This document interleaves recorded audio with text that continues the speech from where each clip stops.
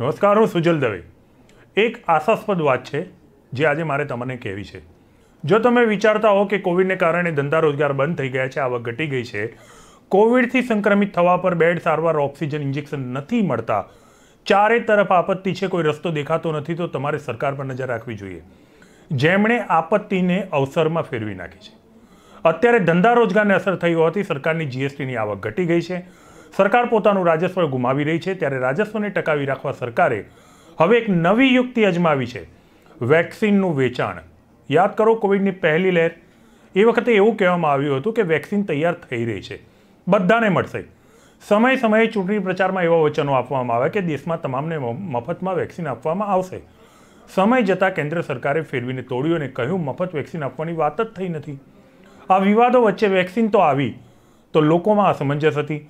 લોકોનું માનવું હતું કે વેક્સિન સલામત નથી. આ અંગે પણ સરકારે ઝુંબેશ અને પ્રચાર કર્યો અને લોકોને વેક્સિન તરફ વાળવા પ્રયાસ કર્યા. પણ લોકોનો વિશ્વાસ જીતી જીતી શકાતું ન હતું. ત્યાં કોવિડની બીજી લહેર આવી. આખરે લોકો વેક્સિન તરફ વળ્યા, પણ ત્યાં સુધી પરિસ્થિતિ બદલાઈ ગઈ. દેશ માટે તૈયાર થયેલો વેક્સિનનો જથ્થો સરકારે વિદેશમાં મોકલી દીધો. વિદેશમાં વાવાઈ મળે એ પહેલાં દેશમાં વેક્સિનને લઈને અફડાતફડી મચી ગઈ. જો તમે યાદ કરશો તો યાદ આવશે કે દેશના તમામ રાજ્યો પાસે છેલ્લા પંદર દિવસ દરમિયાન વેક્સિનનો જથ્થો ખૂટી પડ્યો હતો. લોકો કલાકો લાઇનમાં ઊભા રહેતા હતા અને વેક્સિનનો જથ્થો ખૂટી જતા વિલામોએ પાછા પણ ફરતા હતા. આ વિવાદો વચ્ચે ગુજરાત સરકારે જાહેરાત કરી નાખી કે ગુરુવારથી લોકોને અમદાવાદના જીએમડીસી ગ્રાઉન્ડમાં ડ્રાઈવ થ્રુ વેક્સિન આપવામાં આવશે. જેના માટે અગાઉથી રજિસ્ટ્રેશન જરૂરી નથી. જો કે તમારે વેક્સિન લેવા માટે રૂપિયા એક હજાર ચૂકવવા પડશે. આમ લોકોને આપવાની વેક્સિન વેચી દેતા કોવિડની સારવાર પણ અમીરો અને ગરીબોમાં વેચાઈ ગઈ છે. સરકારના નિર્ણયથી એ સાબિત થતું હતું કે તમારી પાસે જો પૈસા નથી, તો તમને જીવવાનો કોઈ અધિકાર નથી. તમને સારવાર લેવાનો પણ અધિકાર નથી. સરકાર ઈચ્છે તો અહીંયા કહી શકે છે કે માનવીના જીવ સામે એક હજારની રકમ કંઈ જ નથી. અમે પણ આ વાત માનીએ છીએ, પણ અહીંયા સમસ્યા એ છે કે સરકારે અગાઉ ચાલીસ દિવસથી ધંધા રોજગાર કોવિડને રોકવા બંધ કરાવ્યા હતા. અહીંયા ક્રોનોલોજી સમજો. રૂપાણી સરકારે હાઈકોર્ટની ટકોર બાદ પણ લોકડાઉન આપ્યું ન હતું અને કારણ ધર્યું હતું કે નાના વેપારી મજૂરીની ચિંતા હોવાથી અમે લોકડાઉન નથી આપતા. બીજી તરફ જે વેપારીઓને મજૂરીની ચિંતામાં લોકડાઉન અપાયું ન હતું, એ વેપારીઓની દુકાન જ એક જાહેરનામા થકી બંધ કરાવી દીધી હતી, જે લગભગ ચાલીસ દિવસ બાદ આંશિક છૂટછાટ સાથે ખુલી હતી. મોટા ભાગના વેપારીઓ ભાડે દુકાન રાખીને વેપાર કરતા હોય છે આ વેપારીઓ પાસે યા તો ઘર ચલાવો, યા ભાડા ભરો જેવા વિકલ્પ આવી ગયા હતા. જેમ તેમ કરીને વેપારીઓ ગાડું પાટું પર, ગાડાને પાટા પર લાવવાનો પ્રયાસ કરી રહ્યા હતા. ત્યાં વેક્સિન પણ કિંમત સાથે આવતા વેપારી અને મધ્યમ વર્ગીય વ્યક્તિ સામે એક વિકલ્પ આવી ગયો છે. કેમ કે આ બંને પાસે હાલ પૈસા નથી. હવે આમને જીવવું હોય તો વેક્સિન લેવી પડશે. જો વેક્સિન લે તો ભૂખે મરવાનો વારો અને ન લે તો કોરોનાથી મરવાનો વારો. આમ સામાન્ય માણસ રૂપાણી સરકારના આ નિર્ણયથી મોતની સામે આવીને ઊભો થઈ ગયો છે. બસ, સામાન્ય માણસ પાસે સત્તા છે તો માત્ર એટલી જ કે તે કઈ રીતે મરવાનું પસંદ કરશે.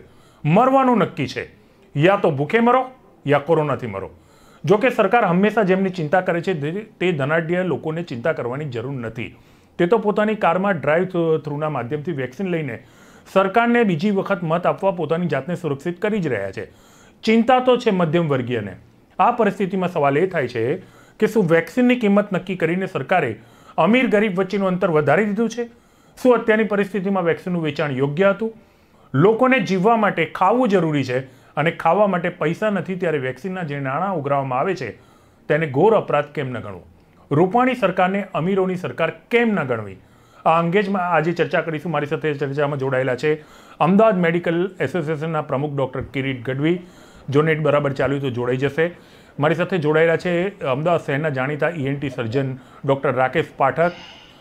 જનપ્રતિનિધિ મિતેશ રાવલ પણ જોડાયેલા છે અને અમદાવાદ શહેરના જ જાણીતા ડૉક્ટર પ્રવીણ ગર્ગ પણ મારી સાથે જોડાયેલા છે. ડૉક્ટર કિરીટ ગઢવી કદાચ નેટ પ્રોબ્લેમનો સામનો કરી રહ્યા છે, જોડાઈ જશે એવી આશા રાખું છું. પણ ત્યાં સુધી આપ ત્રણેય વ્યક્તિઓનું સ્વાગત કરું છું. કે ન્યૂઝને સમય આપવા બદલ ખાસ કરીને બંને ડૉક્ટરો અપુ તમે નવરા છો એવું નથી કહેતો પણ બંને ડૉક્ટરો અત્યારે પોતાના વ્યસ્ત શેડ્યુલમાંથી કે ન્યૂઝ માટે જે સમય કાઢ્યો છે એના માટે હું આપનો આભારી છું. સૌથી પહેલાં તો ડૉક્ટર ગર્ગ તમારા પાસેથી જાણવા માગીશ કે કોવિડને નાથવા માટે એક વેક્સિન એક મહત્વનું હથિયાર હતું. સમય સમયે સરકારે પ્રચાર પણ કર્યા. આપ જેવા તબીબોએ સમય કાઢી અને ટીવીના માધ્યમથી પણ લોકોને સમજાવવાનો પ્રયાસ કર્યો. તેમ છતાં પણ હું આજે ફરી ટૂંકાણમાં લઘુ ઉત્તરીય એ જાણવા માંગીશ કે કોવિશિલ્ડ રસી છે અથવા તો વેક્સિન કોઈ પણ પ્રકારની જે છે કોરોનાની સામે એ કેટલી જરૂરી છે? જો સુજલ કોરોના એક નવો વાયરસ છે અને છેલ્લા દોઢ વર્ષથી આખા વર્લ્ડમાં આપણે આ એક ભેદી વાયરસથી આપણે લડી રહ્યા છે. અનફોર્ચ્યુનેટલી વાત એક છે કે અત્યાર સુધીમાં કોઈ પણ એક એસ્ટેબ્લિશ દવા આના સામે પૂરા આખા વર્લ્ડમાં નથી અવેલેબલ જે જે જે જે દવાઓ છે એ બધી અત્યારે ટ્રાયલ બેઝ ઉપર ચાલુ છે. અને કોઈ સ્પેસિફિક ટ્રીટમેન્ટ અત્યાર સુધીમાં મળ્યો નહીં. અત્યારે પણ બધી દવાઓ રિસર્ચ બેઝમાં છે. પણ ફોર્ચ્યુનેટલી છેલ્લા પાંચ છ મહિનાથી વર્લ્ડના સાયન્ટિસ્ટ અને આપણા ઇન્ડિયાના સાયન્ટિસ્ટ ખાસી મહેનત કરીને એક વેક્સિનનું ઉત્પાદન ચાલુ કર્યું. અને જેટલી જેટલી પણ ટ્રાયલ આખા વર્લ્ડમાં થયેલી છે અને ઓલરેડી આઠ કે દસ વેક્સિન તો already all over world available છે. બધી ટ્રાયલ્સમાં આ એક વાત ક્લિયર સાબિત થઈ કે બધી વેક્સિનની એફિકેસી સિત્તેર પર્સન્ટથી વધારે છે. એટલે કે સોમાંથી સિત્તેર પર્સન્ટ લોકોને એ વાયરલના ઇન્ફેક્શનનું પ્રમાણ કે તો ઓછું કરી દે કે બીજા ફરીથી રીઇન્ફેક્શન થવાના ચાન્સીસ ઓછા હોય છે. એટલે બધી વેક્સિનની એફિકેસી સેવન્ટી પર્સન્ટ છે. આપણે ઇન્ડિયામાં બે વેક્સિન અત્યારે સ્પુટનિકની પણ ત્રીજી આવી કોવિશિલ્ડ અને કોવેક્સિનનો છેલ્લા પાંચ છ મહિનાથી ઇન્ડિયામાં એ વેક્સિન અવેલેબલ છે. અને બંને વેક્સિન સારી છે. બંને વેક્સિનની એફિકેસી સિત્તેર ટકાથી ઉપર છે. અને બે ડોઝ લીધા પછી તો એફિકેસી પણ વધી જાય અને એ પેશન્ટ્સ માટે કોરોનાનો રીઇન્ફેક્શન કે બીજું ઇન્ફેક્શન કે જેને કોરોના નહીં થયેલું હોય, એના માટે પણ વેક્સિન બહુ સારી છે. હવે અનફોર્ચ્યુનેટ આપણી કન્ટ્રીમાં વાત શું થઈ કે જ્યારે આ વેક્સિન જનવરી મંથમાં એ આપણને જ્યારે મળવાની હતી, ત્યારે એક તો ગવર્મેન્ટ થોડી વેક્સિન બહાર એક્સપોર્ટ કરી દીધી. પણ એ મુવમેન્ટ ઉપર કોરોનાના કેસીસ બહુ ઓછા હતા. તો લોકોમાં વેક્સિન લેવામાંથી કોઈ આમાં કોઈ ઉત્સાહ નહીં હતો. બધાને થોડો સોશિયલ મીડિયા અને બધી જગ્યા ઉપર આ વેક્સિનના સાઈડ ઇફેક્ટની બહુ ભ્રાંતિઓ હતી. એટલે એ મુવમેન્ટ ઉપર બે ત્રણ મહિના સુધી કોઈ પણ લોકો આ વેક્સિન લેતા ગભરાવતા હતા. ગવર્મેન્ટ ડેફિનેટલી પ્રચાર માહિતીથી આ બધાને આ કન્વિન્સ કર્યું. છતાં પણ વેક્સિનનો વેસ્ટેજ જનવરી ફરવરી મંથમાં બહુ વધારે હતો. લોકો બહુ ગભરાવતા હતા. અને બીજી એક જે અમે જ્યારે આ કોરોના ચાલુ થયો ત્યારે અમારો એક એવું એક ગવર્મેન્ટ ઉપર એક આવી રીતના એક ઇન્સિસ્ટ હતો કે જ્યારે જે જે જગ્યા ઉપર સંક્રમણ વધારે છે મેટ્રો સિટીઝ અમે પણ એ કહેતા હતા કે પહેલા ફર્સ્ટ પ્રાયોરિટી તમે આખા મેટ્રો સિટીમાં ફર્સ્ટ તમે પ્રાયોરિટી આપો કેમ કે ત્યાં ઇન્ફેક્શન ગમે તે અમદાવાદ બરોડા સુરત રાજકોટમાં જ કેસીસ હતા. વિલેજીસમાં એટલા કેસીસ નહીં હતા. પણ અનફોર્ચ્યુનેટલી પોલિટિકલ પ્રોશર કે ગમે તે કારણથી વેક્સિનનો ઇક્વલ ડિસ્ટ્રીબ્યુશન બધી જગ્યા કરવામાં આવ્યો. તો એટલે ગામડોમાં વેક્સિન વેસ્ટ જતી હતી. અમે પણ ક્લિનિકલી અને પ્રેક્ટિકલી જોયેલો છે કે વિલેજર્સમાં વેક્સિન પ્રતિ ઝીરો ઉત્સાહ હતો. એ લોકોને બહુ ભીક હતી. એટલે nobody was wishing to take vaccine અને અર્બન એરિયામાં પણ થોડો ઓછો હતો. હેલ્થ કેર વર્કર્સ પણ વેક્સિન લેવા માટે શરૂઆતમાં એમને થોડી હિચક હતી. પણ જ્યારે આ કોરોનાની બીજી લહેર આવી અને ખાસી મોર્ટેલિટી એ બધાને એવું લાગ્યું કે ભાઈ હવે તો there is no option except vaccination તો એટલે એકદમથી છેલ્લા એક મહિનાથી વેક્સિન માટે ઉપર ઉપર આ એક કોમ્પિટિશન થઈ ગયું અને બધાને એક એવું લાગ્યું કે હવે તો vaccine is the only solution તો એટલે હવે છેલ્લા એક મહિનાથી આ કેમ કે આના બીજું એક પ્રિડિક્શન છે કે કદાચ થર્ડ લેર વેવ આવશે તો આના માટે વેક્સિન જ એકમાત્ર ઉપાય છે. એ બધાને હવે એકદમ મગજમાં ક્લિયર થઈ ગયો છે કે વેક્સિન જ એકમાત્ર ઉપચાર છે આ બીમારીથી બચવા માટે. તો હવે વેક્સિનનો લેવા માટે બધા માટે એક કોમ્પિટિશન થઈ ગયું છે અને લોકોમાં બહુ એકદમ ફાસ્ટ ફાસ્ટ છે કે ઝડપથી આ વેક્સિન લઈ લે. ટૂંકમાં ગર્ગ સાહેબ અત્યારે તમે જે બોલ્યા અત્યાર સુધી તમે જે બોલ્યા એના ઉપરથી જો એનું તારણ કાઢું તો આપ એવું કહેવાનો ટ્રાય કરી રહ્યા છો કે કોવિડની સામે લડવા માટે એકમાત્ર હથિયાર જો તમે માસ્ક અને સેનિટાઈઝરને ભૂલી જાઓ તો વેક્સિન અસરકારક છે એટલે હું એને આપણી ભાષામાં સંજીવની કહી શકું છું. બરાબર ને? યસ ઓકે ડૉક્ટર પાઠક પણ જોડાયેલા છે. હું આપની સાથે રૂબરૂ થઉં એક મિનિટ માટે. ડૉક્ટર પાઠક આપણી સાથે જોડાયેલા છે. ડૉક્ટર પાઠક, મેં અત્યારે આ શોભાસ્પદ છે કે નહીં એ તો મને ખબર નથી. અને લગભગ ઘણા દર્શકો થોડું અતિશક્તિ માનશે. પણ દર્શકો જાણે છે કે હું વાસ્તવિકતા સાથે જોડાયેલો વ્યક્તિ છું અને હંમેશા વાસ્તવિકતાને જ મૂકું છું એમના સામે. મેં ખુદ આ જોયું છે એટલે હું બોલી રહ્યો છું કે હું આપની ક્લિનિક પર જ્યારે આવ્યો હતો, ત્યારે એક બે પેશન્ટ હતા જેને આપે કન્સલ્ટ કર્યા હતા અને આપની જે ફી હતી, નિયત ફી, એ ચૂકવવા સક્ષમ ન હતા. આપે ખુદે માફ કરી હતી અને આપે એ વખતે જે કારણ આપ્યું હતું કે અત્યારે કોવિડમાં આર્થિક કટોકટીનો તમામ લોકો સામનો કરી રહ્યા છે. જો આની ફી અમે જતી કરીશું તો કોઈ ફેર પડવાનો નથી. હવે આ વિચારધારા એક પ્રાઇવેટ પ્રેક્ટિસ કરતા ડૉક્ટરની હોય, ત્યાં એક મધ્યમ વર્ગીય પરિવારને વેક્સિન મળે અને તે પણ હજાર રૂપિયાનો ખર્ચ કર્યા પછી આ સરકારની વિચારધારાને આપ કેવી રીતે મૂલવી રહ્યા છો? સુજલભાઈ આમાં એવું છે કે તમારી વાત સાચી છે કે અમે ડોક્ટરો અમારે ત્યાં જેટલા પણ પેશન્ટ આવે છે એ ડિફરન્ટ કેટેગરીના પેશન્ટ આવે છે. અમે એ પેશન્ટને કોઈ પણ જાતનું મૂલ્યાંકન કર્યા વગર અમને એવું લાગે કે આની પરિસ્થિતિ થોડી વીક છે અથવા ફાઇનાન્શિયલી અત્યારે આ સેકન્ડ સ્ટેજ જેમ સાહેબે કીધું એમ આવ્યું એ પ્રમાણે ફાઇનાન્શિયલ સ્ટેટસ અને મેન્ટલ સ્ટેટસ થોડા લોકોનું થોડું બગડેલું છે એટલા માટે અમે એમને પૈસા જતા કરીએ છીએ અને અમે એમને મદદ પણ કરીએ છીએ. અમે અમારી રીતે અમારી હોસ્પિટલમાં સરકારની વિરોધમાં પણ નથી અને સરકારની સાથે પણ નથી. પણ હું એમ કહેવા માંગુ છું કે જ્યારે અમે લોકો અમારી લેવલ પ્રમાણમાં અમે અમારા પેશન્ટોને સારો એવો ફાયદો કરી શકતા હોઈએ તો સરકારે પણ એ રીતે વિચારવું જોઈએ કે અત્યારે આટલી પરિસ્થિતિની અંદર અને આ લોકડાઉન ચાલીસ દિવસનું આવ્યું હતું અને એ પરિસ્થિતિ પછી પણ વેપારીઓથી માંડીને બધા વર્ગને ખાસ કરીને મધ્યમ વર્ગ અને એનાથી નીચેના વર્ગને તકલીફ પડે છે તો પછી આપણે આ એક હજાર રૂપિયાનું આ જે ડ્રાઈવ થ્રુ રાખ્યું છે એએમસીએ સરકારે એમ પણ કીધું હતું કે આપણે બધું સ્પોટ રજીસ્ટ્રેશન નથી કરવાનું પણ આપણે આ રીતે ઓનલાઈન બધું રજીસ્ટ્રેશન કરી અને પછી આપણે વેક્સિન આપીશું. પણ હવે જ્યારે પણ એ ઓનલાઈન કરવા જાય તો એ તરત એ એટ અ ટાઈમ એ થતું નથી અને. એને કારણે સડન આ વસ્તુ થયા પછી ગુરુવારે ડિક્લેર કરવાનું સરકારે કીધું હતું. અને એ પછી અચાનક ડ્રાઈવ થ્રુ એએમસી થ્રુ આ રીતે એક હજાર રૂપિયા લઈ અને એ કરવું, એ મધ્યમ વર્ગથી નીચેના વર્ગને ખરેખર તકલીફ પડે એવી વસ્તુ છે. એ ખરેખર એ બાબતમાં સરકારે વિચારવું જોઈએ. અને આર્થિક પરિસ્થિતિ અત્યારે લોકોની પહેલા જેવી નથી. તો એને પણ ધ્યાનમાં રાખવું જોઈએ. હવે અહીંયા પાઠક સાહેબ પ્રશ્ન શું થાય છે? એક હજારની કિંમત મૂકવામાં આવેલી છે અને સરકાર તરફે અત્યારે કોઈ પણ પ્રવક્તાને મેં હાજર રાખ્યા જ પણ નથી. હું ઈચ્છતો નહોતો કે એક હેલ્ધી ડિબેટને અત્યારે ઊંધા પાટે ચડાવવામાં આવે. આપણે આલોચનાએ નથી કરતા, આપણે પ્રશંસાય નથી કરતા. ખાસ કારણ કરીને રાજકીય પ્ર- પ્રવક્તાઓને મેં આજે આ ડિબેટમાંથી એટલા માટે દૂર રાખેલા છે. અપુ રાવલ જે જોડાયેલા છે, મિતેશ રાવલ જેના નામથી જાણીતા છે અપુ એમનું હુલામણું નામ છે. એ પણ એક જનપ્રતિનિધિ તરીકે જ આવેલા છે. એમની પાસે આવી અનેક સમસ્યાઓ આવી છે. છેલ્લા એક અઠવાડિયાથી મારી જોડે ટેલિફોનિક ચર્ચા કરતા હતા. જેના કારણે મેં આજે આપની સામે સાથે બેસાડ્યા છે. પણ પ્રશ્ન શું થાય છે કે હજારની કિંમત કંઈ નથી?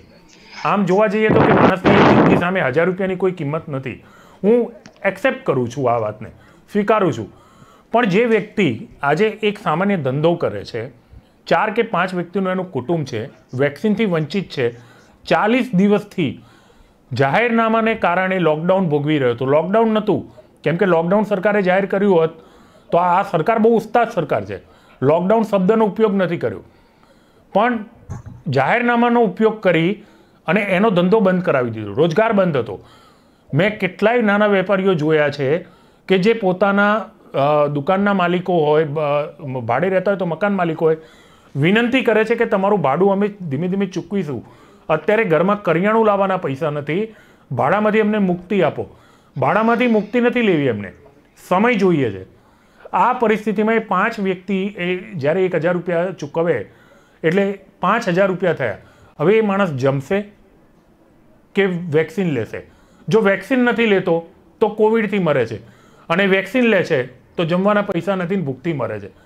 મિતેશ, તમારી જોડે જાણું છું કે આ કેટલું યોગ્ય ગણો છો. હું તો આને હિન્ન કક્ષાનો અપરાધ ગણું છું. સુજલભાઈ એક તો પેલું તમે જ્યારે શરૂઆતમાં કીધું ને તો મને ખોટું નથી લાગ્યું પણ એ વાતની હું જરા અહીંયા ટકોર કરીશ. તમે કીધું ને હું તમને નવરો નથી કહેતો. એકચ્યુઅલી છેલ્લા દોઢ વર્ષથી હું જે ફેટર્નિટીમાંથી આવું છું હું પ્રાઇવેટ સેક્ટરમાં એજ્યુકેશન ફિલ્ડમાં છું. છેલ્લા પચીસ વર્ષથી અમે નવરા જ છીએ. અમે કમ્પ્લીટલી નવરા છીએ અને અમારા કેસમાં તમે વાલી મંડળથી માંડીને બધા શિક્ષણ માફિયા શિક્ષણ માફિયા કરીને મૂકી દીધું છે. પણ એકચ્યુઅલી તમે સાચી પરિસ્થિતિ તમે જે કીધી ને એ છે. જો આ દેશમાં વર્ષોથી એકદમ ધનાઢ્ય માણસ બી એને બી કોઈ પ્રોબ્લેમ નથી ને એકદમ નીચેનો માણસ એને તો વેક્સિન શું છે એ પણ ખબર નથી. આ દેશમાં વીસ ટકા લોકોને હજી એ જ ખબર નથી કે વેક્સિન શું છે. તમે ઇન્ટિરિયર એરિયામાં જાઓ એમને ખબર બી નથી આરટીપીસીઆર શું છે ને વેક્સિન શું છે. સૌથી વધારે કોઈ સફર કરે છે આ દેશમાં તો એ મિડલ ક્લાસ માણસ. એ મિડલ ક્લાસ માણસ જેનો આ દેશમાં સાહીઠથી સિત્તેરના ગુજરાતમાં બી એવા ટકાથી ઉપર લોકો છે જેમની મંથલી ઇન્કમ માંડ વીસ હજાર છે ને એમાં બી આ છેલ્લા દોઢ વર્ષથી એ પચાસ ટકાથી નીચે જતી રહી છે. અને તમે જે મને, તમે જે ગણતરી બતાવી બસ એ જ ગણતરી મારા મગજમાં છે કે એક વ્યક્તિ કે જેના મંથલી ઇન્કમ દસ હજારથી બી નીચે છે એને જો વેક્સિન લેવી છે અને જો પાંચ હજાર રૂપિયા ખર્ચે તો પહેલી વાત તો એ છે કે જે એક હજાર ખર્ચી શકે છે ને એની પાસે સ્માર્ટફોન છે. જેને રજીસ્ટ્રેશન કરીને ફ્રીમાં વેક્સિન લેવાની છે એની પાસે સ્માર્ટફોન છે જ નહીં કે એ રજીસ્ટ્રેશન કરાવી શકે. પહેલી વાત જ આ છે. જે રજીસ્ટ્રેશન ફરજિયાત કર્યું છે હું નાના ટાઉનમાં બી કામ કરું છું ઇન્ટિરિયરમાં બી જઉં છું તમને ખબર છે કે હું આ બધી પ્રવૃત્તિઓ સાથે જોડાયેલો છું. લોકો પાસે સ્માર્ટફોન જ નથી કે જે વેક્સિનેશન માટે રજીસ્ટ્રેશન કરી શકે. ગામના સરપંચ પાસે જવું પડે છે અને એની અવેલેબિલિટી પ્રમાણે કદાચ રજીસ્ટ્રેશન કરાવે છે. અને એ બધાને ખબર છે અહીંયા બેઠેલી કે છેલ્લા એક મહિનાથી જ્યારથી એટીન પ્લસનું ડ્રાઈવ ચાલુ થયું છે. એક તો તમે રજીસ્ટર્ડ નથી થતા અને કદાચ ઈશ્વર તમારા પર મહેરબાન હોય તો રજિસ્ટર તો થઈ ગયા પણ સ્લોટ નથી મળતા. બીજી વાત ઉપર આવું. આ દેશમાં આપણે માનવા તૈયાર નથી, પણ હકીકત છે. આપણે કાસ્ટ બેઝ ડિસ્ક્રિમિનેશનમાં માનીએ છીએ, આપણે રિલિજિયન બેઝ ડિસ્ક્રિમિનેશનમાં માનતા રહ્યા છે, આપણે પ્રાંતવાદમાં માનતા રહ્યા છે. આજે એક નવું એમાં ઉમેરાયું છે, આપણે ફિનાન્શિયલ કન્ડિશનના આધારે પણ ડિસ્ક્રિમિનેશન કરી રહ્યા છીએ. બીજું બધી જ વાત એક બાજુ મૂકી દો, બંધારણના સમાનતાના હકનું, બંધારણે જે તમને મને સૌને સમાનતાનો હક આપ્યો છે, એનું અહીંયા ઘોર હનન થઈ રહ્યું છે. ઘોર હનન છે. આનો મિનિંગ એ થાય છે કે મારી પાસે પૈસા છે તો હું સારું હેલ્થ લઈ શકીશ. આપણે રાઈટ ટુ એજ્યુકેશન આપી દીધું રાઈટ ટુ હેલ્થ આપી દીધું પણ તકલીફ એ છે કે આપણે રાઈટ ટુ ક્વોલિટી એજ્યુકેશન નથી આપવા તૈયાર ને રાઈટ ટુ ક્વોલિટી હેલ્થ આપવા તૈયાર નથી એફોર્ડેબલ બેસિસ ઉપર. વાહ સાચી વાત છે. બહુ બહુ સીધી વાત એ છે કે જો તમને તમે સરકારના હું ગર્ગ સાહેબની વાત સાથે એકદમ એગ્રી છું ને એમની વાતમાં એક વાત જોડીશ, પછી હું પાછું મારી વાત ઉપર આવીશ કે ખરેખર પહેલા મેટ્રોપોલિટન સિટીમાં વેક્સિનેશન કરવાની જરૂર હતી, કેમ કે કોવિડનો ફેલાવો મેટ્રોપોલિટન સિટીથી થઈ છે. કદાચ હું મેડિકલ ફિલ્ડનો માણસ નથી, પણ હું એ પણ કહેવા માંગીશ કે આપણે બીજી લહેર આટલી આટલી દુઃખની અને દયનીય એટલે જોઈ છે. આપણે કદાચ વેસ્ટર્ન કન્ટ્રીઝને જોયું કે સિનિયર સિટીઝન્સને પહેલા વેક્સિન આપી, હા, એ કદાચ હું મેડિકલ ફિલ્ડનો માણસ નથી, પણ મને એવું લાગે છે આ દેશમાં ઘરની બહાર નીકળનાર વર્ગ છે ને અઢારથી પિસ્તાલીસ નો છે આ તો this is young country maximum maximum youngsters છે તમારી પાસે ten to forty five fifty ના જેને ઘરની બહાર નીકળવાનું છે. સાહેબે કીધું કે પહેલા વેક્સિનેશન, વેક્સિન વેસ્ટ ગઈ. તો શું સરકાર એ વખતે એક્સપોર્ટ કરવાની જગ્યાએ એવું બી તો ડિસિઝન લઈ શકતી હતી કે let we give with health workers if any senior citizen or any eighteen plus want want to be vaccinated then let them એ લોકોને બી આપી શકતા હતા. પણ તકલીફ એક જ છે આ દેશમાં. આ દેશમાં સરકારમાં શાસક પક્ષ હોય કે વિરોધ પક્ષ હોય, એમના દરેક નિર્ણય પાછળ પોલિટિકલ એડવાન્ટેજ જોવામાં આવે છે. અને દુઃખની વાત એ છે કે આજે જ્યારે આખું દેશ મહામારીથી પીડાય છે, ત્યારે બધા જ એમાં શખ્સની આલોચના કરવું કે વિરોધ પક્ષના પ્રશંસા કરવી એવું કંઈ જ નથી. દરેક જગ્યાએ પોલિટિકલ એડવાન્ટેજ જોઈને પછી નિર્ણય લેવામાં આવે છે. એટલે આ પરિસ્થિતિઓનું સર્જન થાય છે. વાત રહી ડ્રાઈવ થ્રુ જઈને એક હજાર રૂપિયામાં વેક્સિન લેવાની, તો હું એક આમ આદમી તરીકે દિલ્હી વાળું નહીં, ગુજરાતનું એક સાદો આમ આદમી, હું એમ કહીશ કે જો રજીસ્ટર્ડ કરાવવા માટે હું મથ્યો એક મહિનો ત્યાર પછી હું રોજ સવારે ઉઠીને દિવસમાં ચાર વાર સ્લોટ માટે ફરતો હોઉં. અને મારા નજીકના પીએચસી સેન્ટરમાં કે અર્બન સેન્ટરમાં જો મને સ્લોટ ન મળતો હોય, અને મને સાંજે જો એ સમાચાર મળે ને કે મારી ઉપરનો માણસ કે ફિનાન્શિયલી મારા કરતાં સારો માણસ એક હજાર રૂપિયામાં ગાડીમાં બેસીને વેક્સિનેટ કરાઈ આવ્યો, તો સાહેબ કોવિડ તો મને ફિઝિકલી મારે, આ વાત મને માનસિક મારી નાખે છે. આ વાત મને માનસિક રીતે મારી નાખે છે. આ દેશનો મિડલ ક્લાસ માણસ, જો સૌથી ગરીબ માણસને તમે અનાજની કીટો આપીને બધી, હું એમના વિરોધમાં નથી, પણ કર્યું છે. તમે મીડિયામાં પણ જ્યારે બી વાત હોય કે ખેડૂતની વાત હોય, ખેડૂત આપણા દેશ માટે ખૂબ જરૂરી છે, બધું જ છે, એમની બી તકલીફો છે. કા ખેડૂતની વાત હોય, કા- એકદમ લોઅર લેવલની વાત હોય, કાં તો પછી ઇન્ડસ્ટ્રીયાલિસ્ટોને મદદ કરવાની વાત હોય, તમે આખા કોવિડના પેકેજમાં મિડલ ક્લાસના કઈ મિડલ ક્લાસ માટે શું થયું? હાઈએસ્ટ સફર કરતી વ્યક્તિ આ છે. તમે જે કીધું ને જાહેરનામા વાળી વાત, થયું છે શું? દરેક ટાઉનમાં દરેક નાની નાના સિટીમાં જેટલા બી એસોસિએશન હોય, કે ટેક્સટાઇલ એસોસિએશન છે, કે ભાઈ વેપારી મહામંડળ છે, એના જે પ્રમુખો છે, એ સુખી માણસ છે. તો જ પ્રમુખ બન્યો છે, કાં તો એ પોલિટિકલ પહોંચ વાળો છે. એને પોતાના પોલિટિકલી જે બી એપ્રોચીસ છે એને એને એને એપ્રોચ કરવામાં આવ્યો અને એને કહી દેવામાં આવ્યો કે તમારા ગામમાં પંદર દિવસનું એક લોકડાઉન આપી દો. એને ચાર પાંચ જણા એસોસિએશનના બેસી દઈને લોકડાઉન આપ્યું. પણ નાનો માણસ જે ત્યાં મોબાઈલ રિપેરિંગની દુકાન લઈને બેઠો છે ને જે સાંજ પડે સો રૂપિયા ઘરે લઈને જાય છે એને કોઈ પૂછવા બી નથી આવ્યું કે તને લોકડાઉન પરવડશે કે નહીં. હું માનું છું lockdown is only way it was only way for breaking a પણ કરવું but it is last way and if it is required you should go with the complete lockdown. Yes. આ પાર્શિયલ લોકડાઉન લાઇટ કરફ્યુ આ બધાથી જે પણ જો આ દેશમાં કોવિડ પહેલી લહેરમાં બી જો ઓછો હતો તો એ એનું કારણ ડર હતું. એ વખતે આપણે ડરતા હતા એટલે બહાર ન નીકળ્યા. વચ્ચે આપણને રેલીઓ જોઈને બધું જોયું એટલે આપણને એમ લાગ્યું કે જો આ લોકોના બી આપણા જેટલા જ હડકા છે ને, આમને કઈ નથી થતું રેલીઓમાં તો આપણે બી બહાર નીકળીએ એટલે આપણે આવ્યા એટલે પાછા સપડાયા. પણ એટલી દયનીય સ્થિતિ થઈ કે ફરી લોકો ડરવા લાગ્યા ને ઘરમાં બેઠા. ફરીથી કોવિડ કંટ્રોલમાં આવ્યું. હું મારી સામે બેઠેલા બેઉ કે આજના ભગવાન છે. એમને સેલ્યુટ મારીશ. એક એમની દેન છે અને એમની દેન છે કે આ દેશમાં કોવિડમાં અત્યારના જે આપણો કંટ્રોલ જોઈએ છે, એ કંટ્રોલ જોયો છે. કોઈ બીજા રોલ નથી, જો આની કોઈ ક્રેડિટ લેવા, લેતું હોય ને, તે એકદમ નિરર્થક છે. એકદમ. થોડો રોલ છે મીડિયાનો કે જેને સતત ડરાવ્યા છે. સાચું કે ખોટું પણ ડરાવ્યા છે. અને હું એવું લાગુ છું કે એ સારામાં સારો રોલ હતો. ડર એક આપણી રામાયણમાં ચોપાઈ છે, ભય બી હવે પ્રીતિ. બસ એ થયું છે ને, આ કંટ્રોલ થયો છે.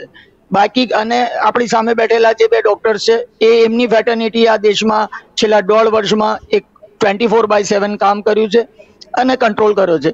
બાકી કોઈ પોલિટિકલ માણસ એમ કહેતો હોય કે અમારા ડિસિઝન્સથી કંટ્રોલ આવ્યો છે, કે આ કરવાથી કંટ્રોલ આવ્યો છે, કે અમારું નાઇટ કર્ફ્યુ થી વાત એવી આવે છે હવે કે વિધાઉટ અનલોક આપણે ગુજરાતમાં કંટ્રોલ કરી દીધો.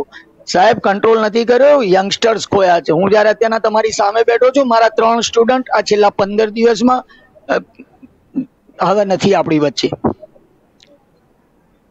એટલે ડિસિઝન્સ દસ બાય દસની એસી ચેમ્બરમાં બેસીને લેવાવાળા લોકો ગ્રાઉન્ડ ઉપર જતા નથી. ગ્રાઉન્ડની રિયાલિટી એમને ખબર નથી હોતી. એમને નીચેના, એમના જે એમ્પ્લોઈઝ અધિકારીઓ છે, એમના ડેટા ઉપર કામ કરે છે. બહુ સીધી વાત છે, આજની વાત નથી, આ દેશ આઝાદ થયો ત્યારથી. નીચેનો અધિકારી પોતાના ઉપરના અધિકારીને ખુશ કરવા ડેટા આપે છે અને એ આધારે ડિસિઝન્સ લેવા છે અને એની આ સ્થિતિ છે.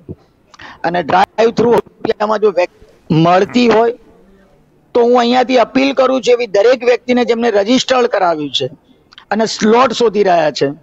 એક હજાર રૂપિયા લીધા ડ્રાઈવ થ્રુની લાઈનમાં ઊભા રહો હોબાળો કરો ને વેક્સિન લો તો જ આ લોકોની આંખ ખુલશે નહીં તો નહીં ખુલે નહીં તો નહીં ખુલે ખુલે. વાત છે તમારી. એ એ એ મુદ્દા ઉપર આવીશ પણ અત્યારે પહેલા એકવાર ડૉક્ટર ગર્ગની જોડે હું જઉં. ગર્ગ સાહેબ મેં જે પાઠક સાહેબની વાત કરી કે દર્દીની ફી માફ કરી દે છે. આમ તો આ જે કાર્યો છે એની જાહેરમાં ચર્ચા ન કરવાની હોય, પણ આજે થઈ ગઈ છે એટલે આપનો સમાપ્રાર્થી છું. આપના પણ ઘણા એવા કાર્યો છે. કોવિડ પહેલાંથી ચાલતા આવ્યા છે કે જે આપ આપના વ્યસ્ત શિડ્યુલમાંથી કાઢો છો અને ગરીબ વ્યક્તિ સુધી પહોંચવાનો પ્રયાસ કરી રહ્યા છો. સમય સમયે હું એનો સાક્ષી બની ગયો છું. એટલે હું તમને પૂછું છું કે એક પ્રાઇવેટ પ્રેક્ટિસ કરતા ડૉક્ટરને પણ જો સંવેદના હોય કે મેં એક અઠવાડિયું અગર દર્દીઓ પાછળ સમય કાઢ્યો છે, બે પૈસા હું કમાયો છું તો અઠવાડિયાનો એક દિવસ આ સમાજના ગરીબ વર્ગ પાછળ હું ખર્ચો. અને આપ ખર્ચી રહ્યા છો. હું બહુ એમાં ઉડાણમાં જવા નથી માગતો. આપનો જ આગ્રહ છે એ વસ્તુ ગોપનીય રહે તો વધારે સારું. પણ જો આપની આ સંવેદના છે, તો સરકારની આ સંવેદના ક્યાં મરી ગઈ કે વેક્સિનના આજે એક હજાર રૂપિયા ઉઘરાવવા પડ્યા? આપ એને કઈ રીતે જોઈ રહ્યા છો? જો, સુજલભાઈ અમે મારા થોડા મિક્સ ઓપિનિયન છે. ના તો હું શાસક પક્ષના જે નિર્ણયનો બહુ હંડ્રેડ પર્સન્ટ એગ્રી કરું છું. ના હંડ્રેડ પર્સન્ટ ડિસએગ્રીમેન્ટ છે. આમાં પ્રોબ્લેમ શું છે કે વેક્સિનનો વેસ્ટેજ બહુ થઈ રહ્યો છે. That we have to understand બીજું કે બધાને આ જો કોવિનનો એપ્લિકેશન ચાલુ કર્યો ને આમાં ખબર નહીં. આઈ હેવ પ્રેક્ટિકલી એક્સપિરિયન્સ કે તમે એક મિનિટમાં સ્લોટ બુક થઈ જાય. Within second that goes on booking તમારે તમે ઓન કરો ઓનલાઈન બેઠા રહો બેઠા રહો અને within second like I don't know how it is doing work એક એક એક એક સેન્ટર ઉપર સો દોઢસો વેક્સિન હોય જીઓ ફાઈબર કનેક્શન બહુ સારું I had very good internet છતાં પણ many times I try to log અને વિથિન સેકન્ડ આ સ્લોગ બુક થઈ જાય દેર ઇઝ ખબર નહીં કે કેવી રીતે આ રેલવેથી રેલવેની બુકિંગ કરતા પણ it's a very Very fast. Tough situation કે કે- કેવી રીતે આ બુક થઈ જાય હવે જે જે જે જે લોકો છે જે મધ્યમ વર્ગના છે અર્બન એરિયા છે, બધાને અત્યારે વેક્સિન તો લેવાની છે ડેટ ઇઝ વેરી ક્લિયર બરોબર? Everyone wants to be vaccine what I personally believe કે આ જો ગવર્મેન્ટ આ વન થાઉઝન્ડ રૂપીઝનો ચાલુ કર્યો ઓલરેડી કંપનીઝ એ પહેલાથી પણ ડિક્લેર કરી દીધી હતી કે કોવિશિલ્ડ પ્રાઇવેટમાં લેશો તો તમે સાડો આઠસો રૂપિયાની મળશે અને કોવેક્સિન તમે પ્રાઇવેટમાં લેશો તો બારસો પચાસ રૂપિયામાં મળશે.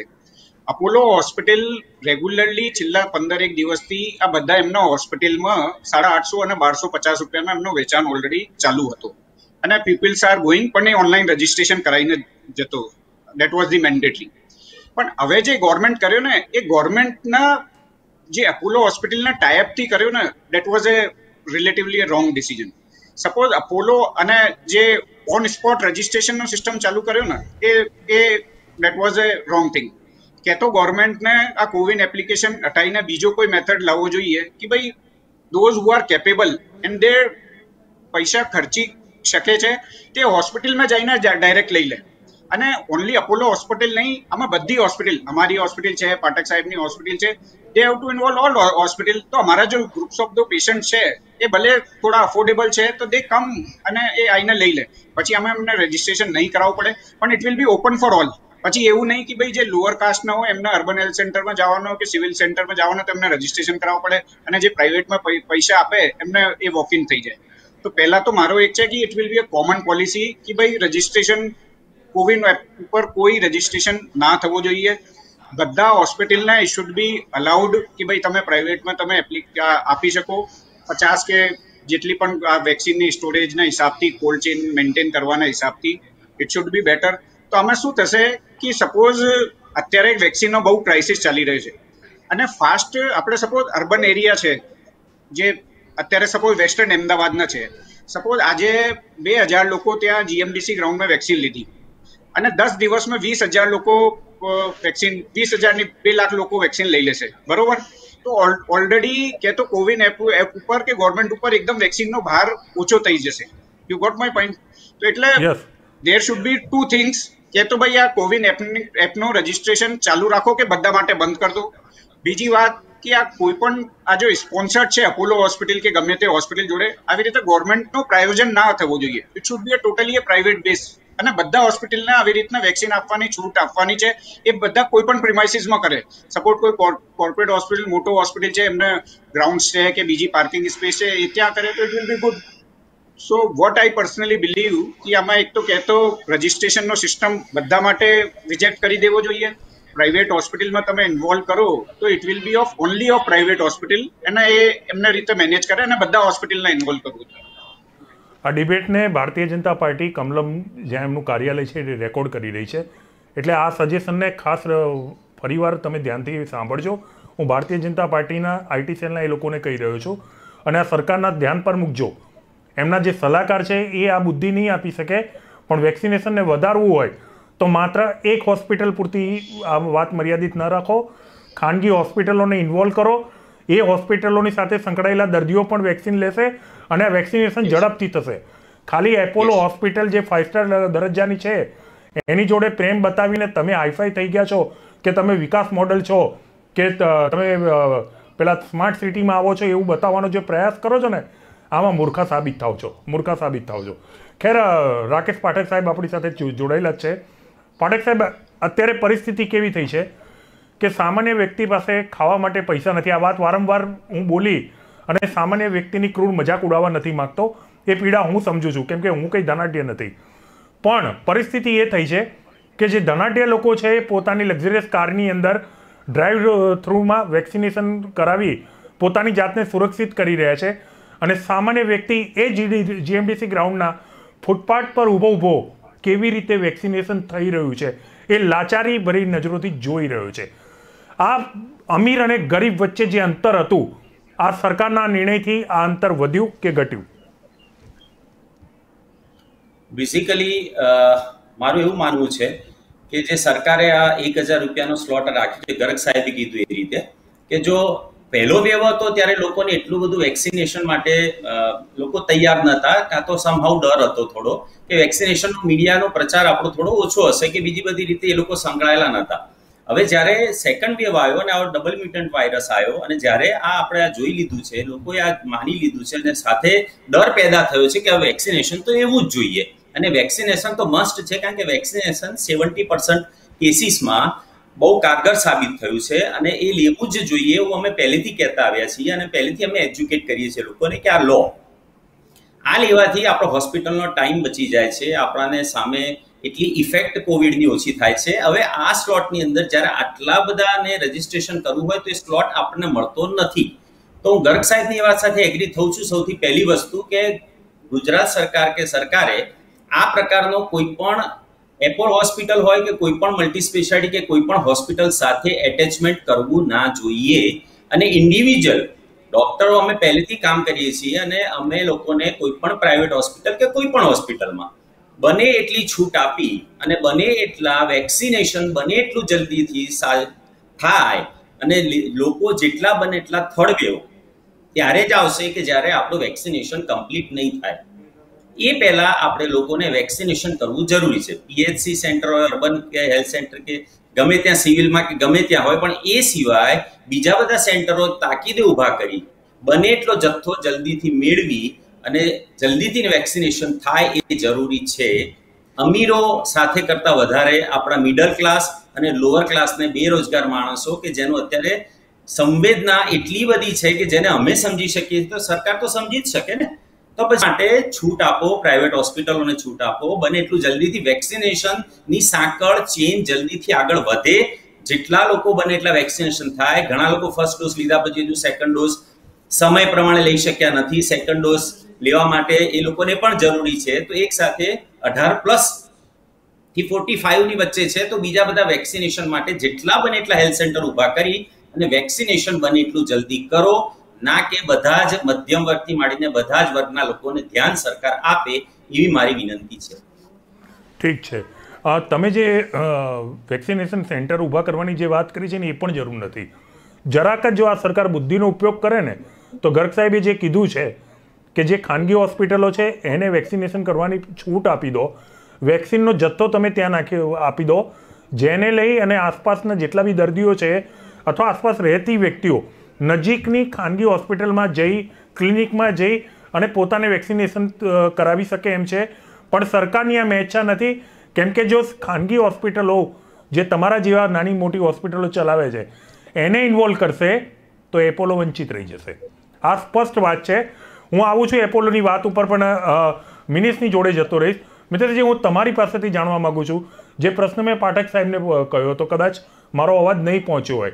પણ તમે તો જનપ્રતિનિધિ છો. લોકોની વચ્ચે રહો છો, કામ કરો છો. શિક્ષણ સાથે સંકળાયેલા છો. ઘણી સમસ્યાઓ તમારી પાસે આવતી હશે. એટલે લોકોના મારા કરતાં પણ વધારે નજીકથી તમે માણસને પારખી શકો છો અને એમના મનને સમજી શકો છો. જે સરકારે એક હજારનો નિર્ણય લીધો છે, હું સ્પષ્ટ માનું છું, તમારા બોલવાની સરળતા માટે કહી રહ્યો છું. હું સ્પષ્ટ માનું છું કે ધનાઢ્ય વ્યક્તિ કારની અંદર બેઠો બેઠો વેક્સિનેશન કરાવી રહ્યો છે અને એક મધ્યમ વર્ગીય નજીકમાં આવેલી ફૂટપાથ પર ઊભો ઊભો લાચારી ભરી નજરોથી જોઈ રહ્યો છે. સરકારના આ નિર્ણયથી અમીર અને ગરીબ બે વર્ગો વચ્ચે જે અંતર હતું, જેને ઘટાડવા સમાનતા લાવવાની વાત કરતી દરેક સરકાર જે કરતી હતી, એ તમામ પ્રયત્નો પર પાણી ફરી વળ્યું છે અને આ બંને વચ્ચેનું અંતર વધી ગયું છે. હું આ વાત જોરથી ડંકાના જોર પર કેમ ના બોલું? હું તમારી વાત સાથે આંશિક રીતે એગ્રી છું પણ હું એક વાત અહીંયા મૂકવા લાગી મૂકવાની ઈચ્છા આંશિક રીતે એટલે એગ્રી છું. કેમ કે આ નિર્ણયથી અમીર અને ગરીબ વચ્ચેનો ડિફરન્સ ઊભો થયો છે એવું નથી. આ દેશમાં માનસિક રીતે જે ગરીબ છે એ ગરીબ જ છે એ ક્યારે એ પોતાની જાતને ગરીબ જ સમજે છે એને સમજાવી દેવામાં આવ્યું છે કે તું ગરીબ જ છે. આ સિત્તેર વર્ષના શાસકોએ સાહેબ એક લાઈન છે ક્યાંકના સરમુખત્યારની આ સિત્તેર વર્ષના શાસકોએ એવું આપણા મગજમાં ઘુસાડી દીધું છે કે હું સવારે ઉઠીને જીવું છું. બસ એ વિકાસ છે. સવારે ઉઠીને હું ગરીબ માણસ માટે હું સવારે જીવતો ઉઠ્યો છું અને મને બપોરે જમવાનું મળ્યું છે, વિકાસ છે. અને હું આજની વાત નથી કરતો, આ સિત્તેર વર્ષથી ચાલતું આવ્યું છે. છોડો એને.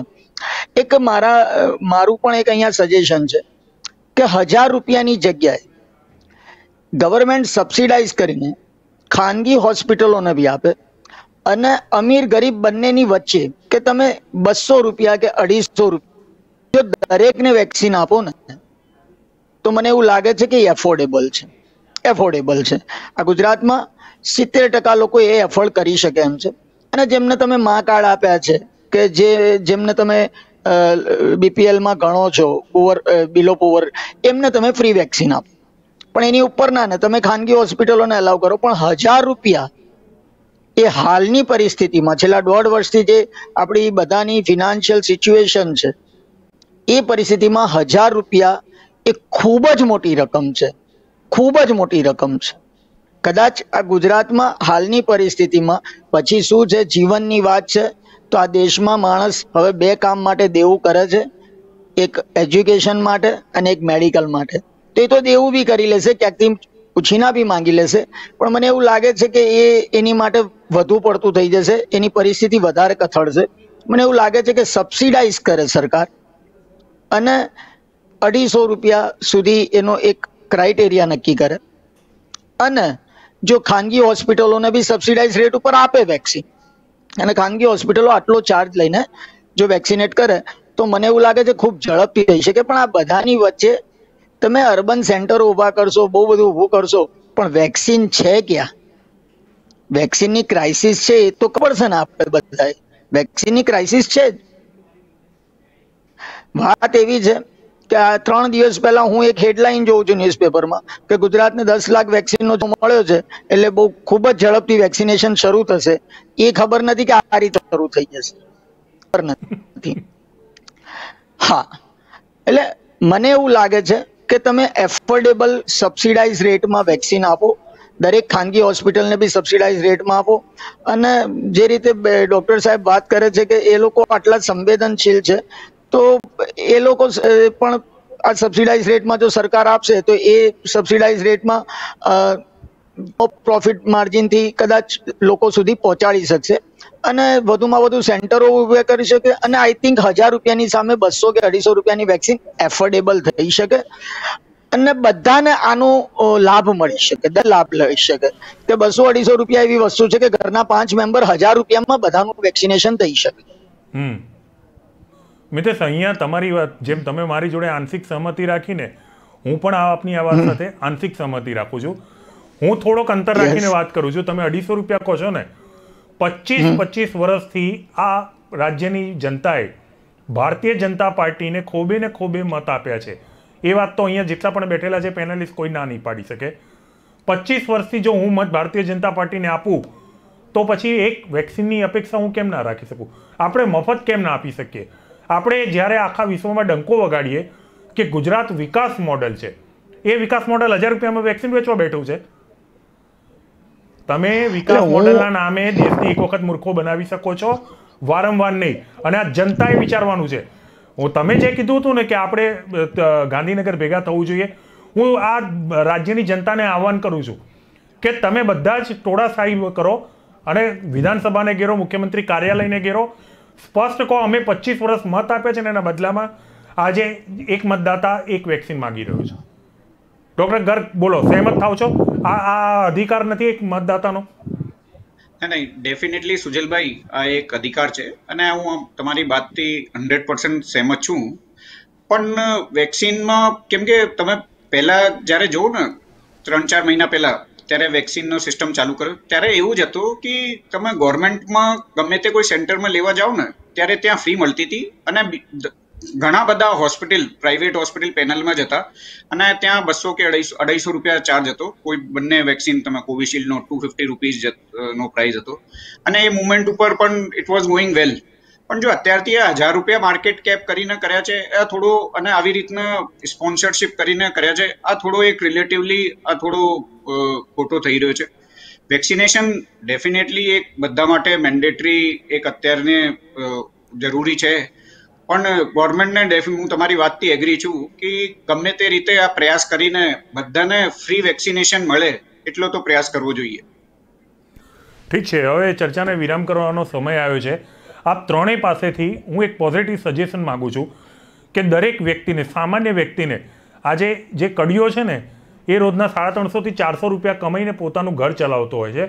અને તમે જે જાહેરનામાની રમત રમી જેને કારણે ચાલીસ દિવસથી એ લોકો પણ કામથી વંચિત રહી ગયા હતા. તમે પ્રયાસ કર્યો હશે કે લોકડાઉન ના આવે, પણ તમે લોકડાઉન જ આપેલું હતું. એટલે હવે એ વ્યક્તિને પણ વેક્સિન લેવું હોય, જેની આવક રોજની ત્રણસો ચારસો રૂપિયા છે, પાંચ પાંચ વ્યક્તિને જમાડવાના છે, ભણાવવાના છે. સ્કૂલોમાં ફી માફી નથી થઈ રહી, બાળક સ્કૂલે જઈ નથી રહ્યું, ઘરમાં ઇન્ટરનેટ પણ વપરાય છે સમય પસાર કરવા માટે. કેમ કે તમે ઈચ્છો છો કે ભલે હું એક ટાઈમ જમી લઈશ પણ ઘરના લોકોનો સમય જાય અને બહાર ના નીકળે, જેથી કોવિડથી બચે. આ પરિસ્થિતિમાં જીવતો સામાન્ય માણસ મફતમાં વેક્સિન લઈ શકે. આપે સજેશન આપ્યું, એવું જ એક સજેશન ડૉક્ટર ગર્ગ તમારી પાસેથી, મિનેશભાઈ તમારી પાસેથી અને પાઠક સાહેબ તમારી પાસેથી લઈ ચર્ચાને હું વિરામ આપીશ. આપ ત્રણેક પોઝિટિવ સજેશન આપો જે સરકારને આપી શકાય. જો ઓલરેડી અત્યારે બધી આ ગવર્મેન્ટમાં પીએસસી સીએસસીમાં વેક્સિનેશનનો પ્રોગ્રામ ચાલુ છે. પણ પ્રાઇવેટ હોસ્પિટલમાં પણ ગવર્મેન્ટના આ અલાઉ કરીને થોડો થોડો જે પણ હોસ્પિટલ છે પ્રાઇવેટ હોસ્પિટલ છે એમને બધાને ઇન્વોલ્વ કરીને અને થોડો રિલેટિવલી આઈ થિંક ફ્રી એકદમથી કરતો ને સુજલભાઈ તો શું થશે એકદમ કોઈ મેકેનિઝમ ને બધા લોકોની લાઈન ભીડ સેટ કરવાનો અને થોડું ટફ થઈ જશે. તો થોડો એક કેપ તો કરવો પડશે.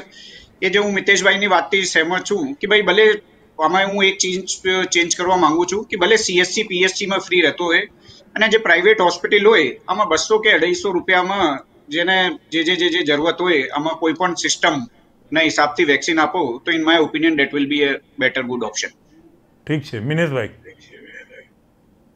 લાગે છે હું ગર્ગ સાહેબની વાત સાથે એગ્રી એટલે થઈશ. જો આ સબસિડાઇઝ રેટ ઉપર હોય તો કેમ કે આપણે ટેવાયેલા છે આપણે મંદિરમાં અંબાજી જેવા ને શેરડી સાંઈબાબામાં બી દર્શન કરવા બસો રૂપિયા આપીને આગળ જવાની આદતવાળા લોકો છીએ. એટલે આમાં બી કદાચ કોઈ બસો અઢીસો રૂપિયા આપીને આગળ વેક્સિન લેવા તૈયાર હોય તો આપણી માનસિકતાને મેચ બી કરે છે ને એમાં બહુ હોબાળો બી નહીં થાય. અને મને એવું લાગે છે કે જે સરે કીધું એમ કે કોવિન જે રજિસ્ટ્રેશન વાળું જે જે રજિસ્ટ્રેશન છે એના ઉપર થોડોક લોડ ઓછો બી થશે. અને હું those can afford two fifty or maximum two fifty let them pay for it અને જે લોકોને ફ્રી લેવી છે, સરકાર પણ બંને પેરેલલ ચાલે, એવું ન બને. કે ટુ ફિફ્ટીમાં જ્યાં મળે છે ત્યાં મને એસી અવેલેબલ હોય ને પીએચસી સેન્ટરમાં મારે ચાર દિવસ દસ દિવસ પંદર દિવસ રાહ જોવાની હોય. તકલીફ એ છે કે હજાર રૂપિયામાં વેક્સિન આપે છે એના કરતા મોટી તકલીફ એ છે.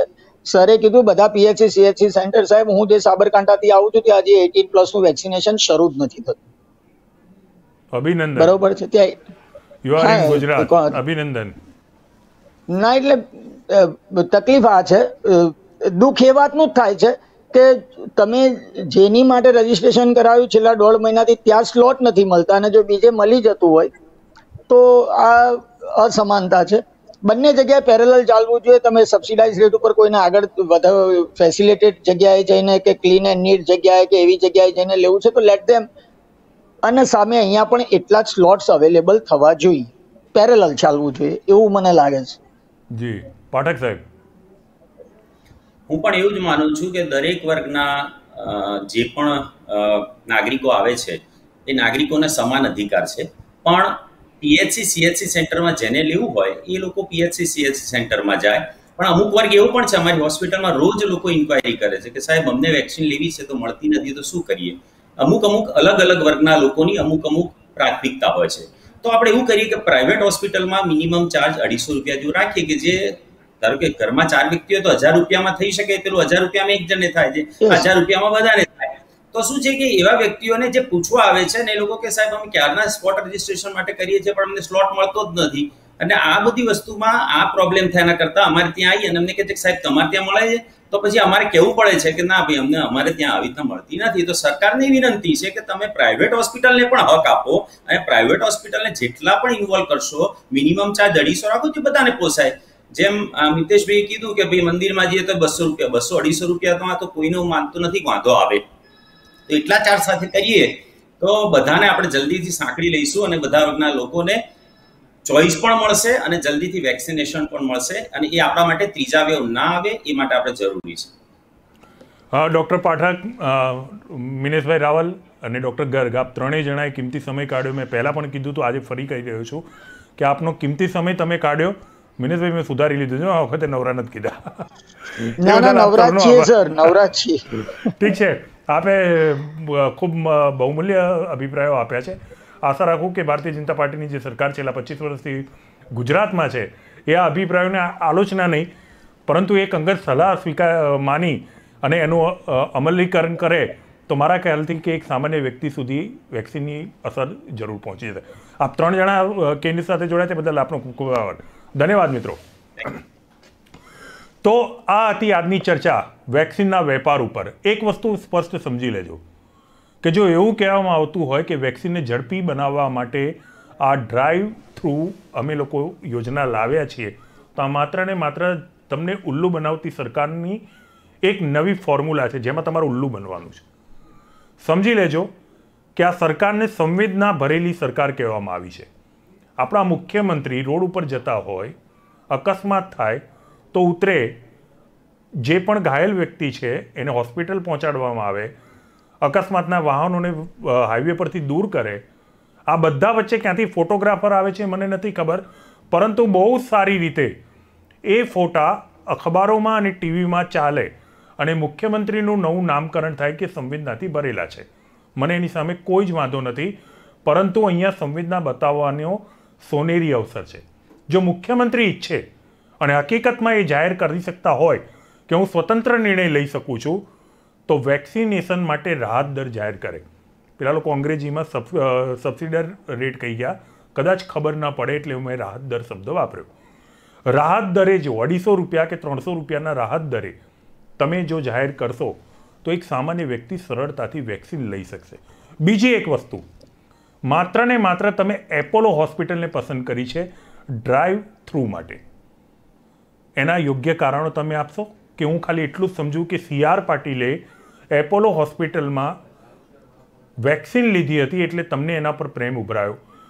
તમે એનો ખુલાસો કરી શકો છો કે આ ઝુંબેશમાં, વેક્સિન આપવાની ઝુંબેશમાં તમે ખાનગી હોસ્પિટલોને કેમ ઇન્વોલ્વ નથી કરી તમે કેમ જે ખાનગી તબીબો છે જે કોવિડમાં તમારા કયા વગર દર્દીઓની ચિંતા કરીને પોતાના પરિવારથી અડગા રહીને ચોવીસ ચોવીસ કલાક સુધી દર્દીઓ માટે સારવાર કરતા હોય છે. એમને અડકામણા કરી અને ફાઇવ સ્ટાર જેવી લાગતી હોસ્પિટલને કેમ તમે ડ્રાઈવ ટુમાં લીધી? તમે એનો ખુલાસો કરશો? તમે નહીં કરી શકો. અને હું સ્પષ્ટપણે આજે પણ ડંકાના ચોટ ઉપર કહી રહ્યો છું કે એક હજાર રૂપિયામાં તમે વેક્સિન આપવાનો જે નિર્ણય લીધો છે ને એ દરેક નાગરિક નાગરિકને સમાનતાનો જે અધિકાર આપણું સંવિધાન આપે છે, એનો છેદ ઉડાડી રહ્યા છે. બે વ્યક્તિઓ વચ્ચે, એક છે અમીર, એક છે ગરીબ. એની વચ્ચે જે અંતર હતું, એ અંતર તમે વધારી અને સ્પષ્ટપણે તમે સંદેશો આપ્યો છે કે ગુજરાતની સરકાર પૂંજીપતિની સરકાર છે. ગુજરાતની સરકાર માત્ર અમીરોની ચિંતા કરતી સરકાર છે. ગરીબોની ત્યારે જ અમારે જરૂર છે જ્યારે ચૂંટણી આવે. ત્યારે ચોક્કસ અમારા નેતા ગરીબ આવાસમાં જશે, એમના ત્યાં જમશે અને આવનારી અને ચાલતી યોજનાઓની માહિતી આપશે. પછી એ ભલે કાગળ ઉપર હોય. આ તમારી સ્પષ્ટ છબી છે. આલોચના નહીં અને સલામાની વેક્સિનેશનને ઝડપી બનાવવા માટે ખાનગી હોસ્પિટલોને ઇન્વોલ્વ કરો અને તાત્કાલિક તમારો તાઇફો જીએમડીસી ગ્રાઉન્ડમાં જે ચાલુ કર્યો છે, એનો નિર્ણય લો. જેના કારણે ગરીબના માણસ ઉપર જે ડર અને અસમાનતાનો ભાવ ફેલાઈ રહ્યો છે, એ તાકીદે દૂર થાય. આ તમે ઝડપી કરશો, એવી મને આશા છે, કેમ કે તમે સંવેદનાથી ભરી સરકાર છો. આજે ચર્ચામાં આટલું જ. ફરી આવા વિષય સાથે આવીશ. ત્યાં સુધી મને રજા આપશો. નમસ્કાર.